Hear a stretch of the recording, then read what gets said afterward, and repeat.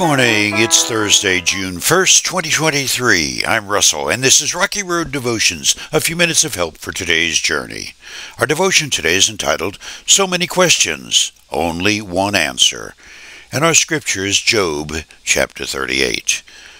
Then the Lord answered Job from the whirlwind.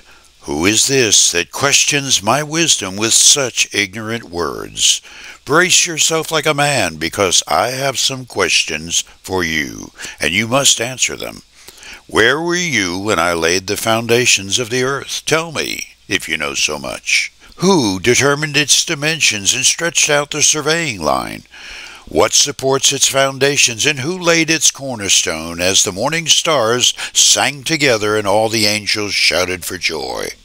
Who kept the sea inside its boundaries as it burst from the womb, and as I clothed it with clouds and wrapped it in thick darkness? For I locked it behind barred gates, limiting its shores. I said, This far, and no farther will you come. Here your proud waves must stop.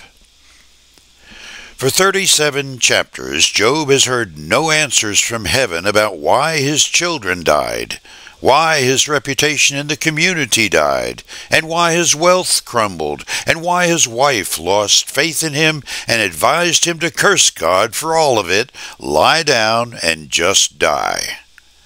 You can certainly believe it. Job had questions, a lot of them and from the tone of Job's voice while debating with his well intentioned dragons, the neighbors who feigned deep concern, but had already made up their minds that Job must have had closet sins, which were the reason God was punishing him.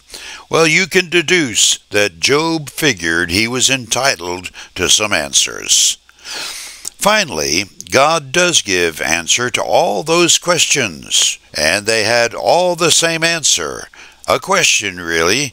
God asked Job, with so little understanding, my dear child, how did you ever manage to lace up your sandals this morning? God's commentary followed, describing for Job how he couldn't possibly understand God's thought process for allowing Satan to sift through Job's life and create such chaos. That commentary was about the creation, starting with the DNA of the tiniest creature to the great Leviathan beast roaming the open seas. He described assembling the foundation of the earth and teaching the stars to sing while arranging all the majestic splendor of life, both physical and metaphysical.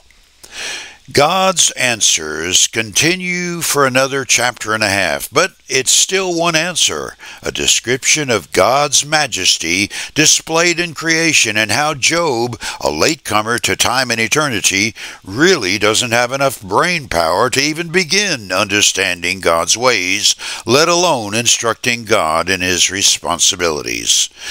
Here's how the conversation finishes God says to Job, do you still want to argue with the Almighty? You're God's critic, but do you have the answers? Then Job replied to the Lord, I am nothing. How could I ever find the answers? I will cover my mouth with my hand. I have said too much already. I have nothing more to say. Finally, Job lays hold of an intelligent thing to say to an almighty, sovereign God. For you today, there exists in our world an arrogance which is as old as Satan prancing into heaven and challenging God to this battle with Job's soul as the prize. It's the arrogance that we humans have judging God for the bad stuff that happens. We charge God as scapegoat for all the misery we've created by ignoring His love and righteousness.